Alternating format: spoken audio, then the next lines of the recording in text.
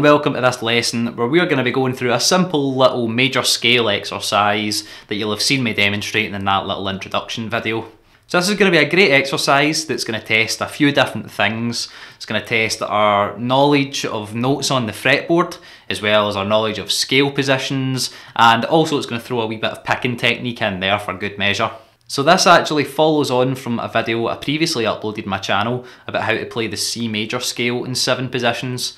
If you haven't seen that video, I'm going to put a link on screen to that just now. Go and watch it, it's going to be very useful because that video is going to go through how we play all of these positions we're going to be applying today. It's going to go through all the finger patterns, it's going to go through the whole thought process of how we actually visualise all of these scales on the fretboard.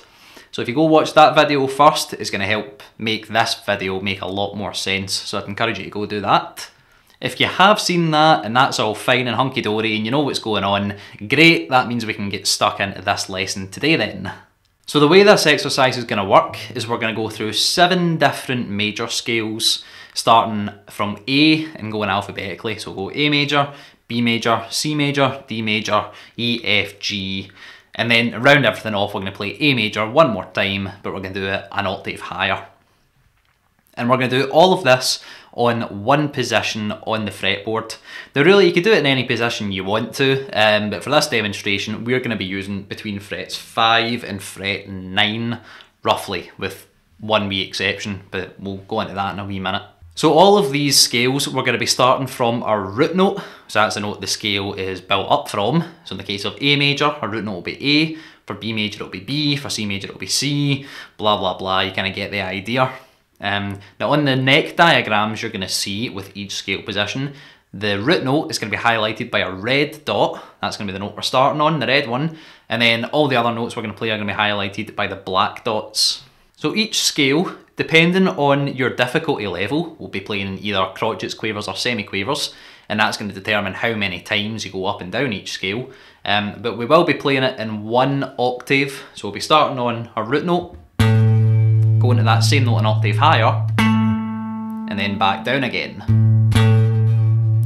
But to get it to fit nicely into the bar, once we get back down to our root note, we're going to have to go to the scale degree just below the root note and then back up again to take us into the new bar. Just because that's kind of how the timing ends up working. But it'll be fine. It'll make sense once we actually see the diagrams and you see what's going on. Which we're going to do just now. So let's take a wee look at what all the scale positions are. So we'll be starting off with A major. That's going to be our first finger on fret 5 on the low E string. Go all the way up to A an octave higher all the way back down again. Now this is the only one where we're going to need to move out of position. To make it fit into the bar, we need to go down to the next scale degree below the root note and then back up again. So we need to slide our first finger back to fret 4 and then back to fret 5 again. So altogether that will be and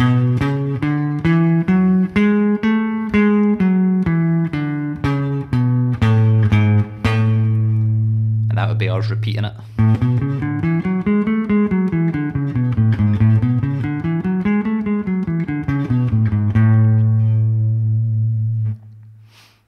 Next, we've got B major.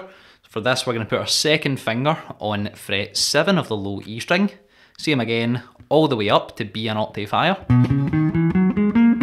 All the way back down again. Down to the next scale degree below the root, and then back up.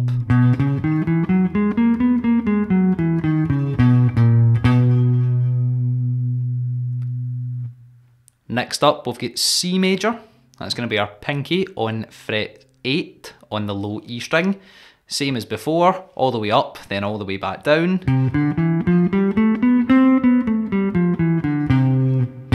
Down to the next note below, then back up again.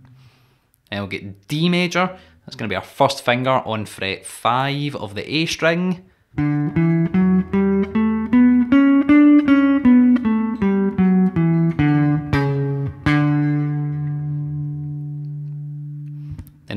Major, that's going to be our second finger, fret 7 of the A string.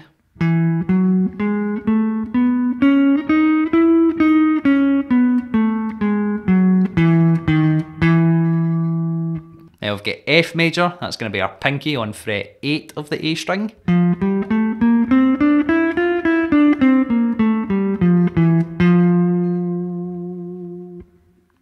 G major, it's going to be our first finger on fret 5 of the D string.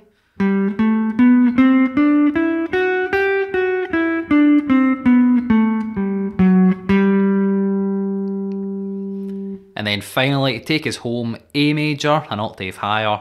So we're going to have our second finger on fret 7 of the D string now.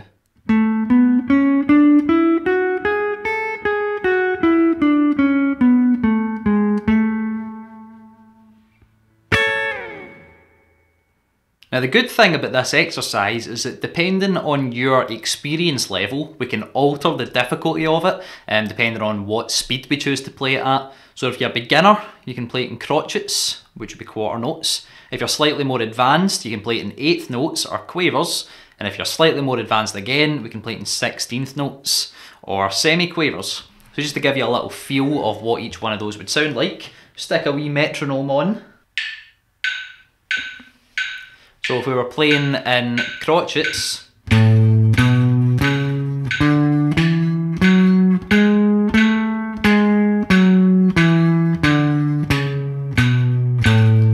for slightly more advanced we can do quavers. And then if we're slightly more advanced again, we can do semi-quavers.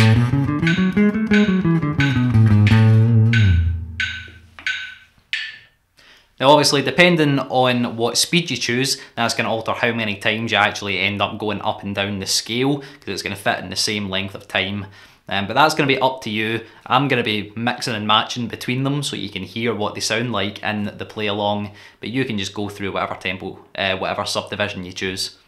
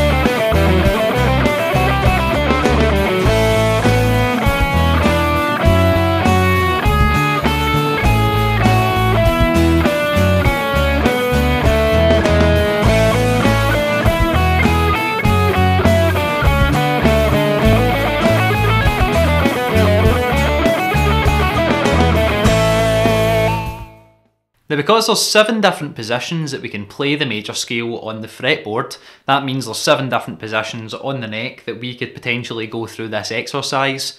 I'm not going to do all seven of them because we'd be here forever if I was to do that and you're probably bored enough as it is. Most people don't even watch this far into the videos to be honest. Um, but I'm going to give you now just an example of playing the same exercise but in a different position. So we'll be using all the same finger patterns. It's going to be a different place on the neck and they're all going to apply to different scales. So if you want to challenge yourself, you can have a wee go at trying this one now. I'm going to have it so that our starting note A is going to be at fret 12 on the A string this time. So let's have a look at what this would look like.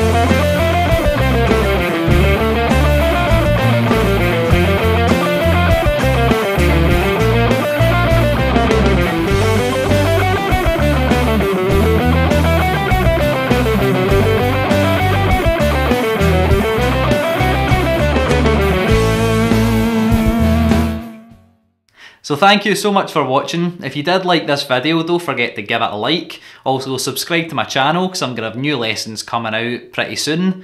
And until I see you in the next one, happy practicing.